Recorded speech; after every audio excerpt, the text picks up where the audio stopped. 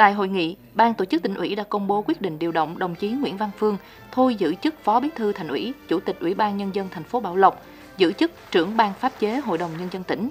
Đồng chí Ngô Văn Ninh thôi giữ chức Chánh Văn phòng Ủy ban nhân dân tỉnh, điều động chỉ định tham gia ban chấp hành, ban thường vụ, chỉ định giữ chức vụ Phó Bí thư Thành ủy Bảo Lộc và giới thiệu Hội đồng nhân dân thành phố bầu giữ chức danh Chủ tịch Ủy ban nhân dân thành phố Bảo Lộc nhiệm kỳ 2021-2026.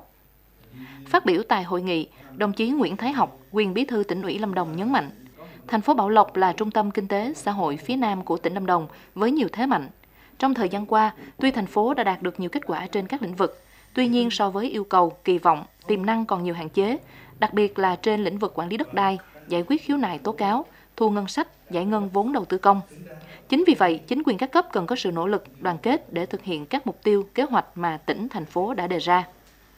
Quyền Bí thư tỉnh ủy Lâm Đồng khẳng định, đối với đồng chí Ngô Văn Ninh là cán bộ trưởng thành từ cơ sở, có nhiều năm công tác ở Ủy ban Nhân dân tỉnh, am hiểu nhiều lĩnh vực và là người có trình độ, chuyên môn phù hợp, được Ban Thường vụ tỉnh ủy tin tưởng, điều động và giao trọng trách mới. Trên cương vị mới, đồng chí Ngô Văn Ninh cần phải tận tâm, tận lực, phát huy vai trò của người đứng đầu, cùng với đảng bộ, chính quyền thành phố Bảo Lộc tạo ra sức mạnh trong đảng, trong chính quyền để đưa Bảo Lộc phát triển xứng tầm với một đô thị lớn của tỉnh Lâm Đồng.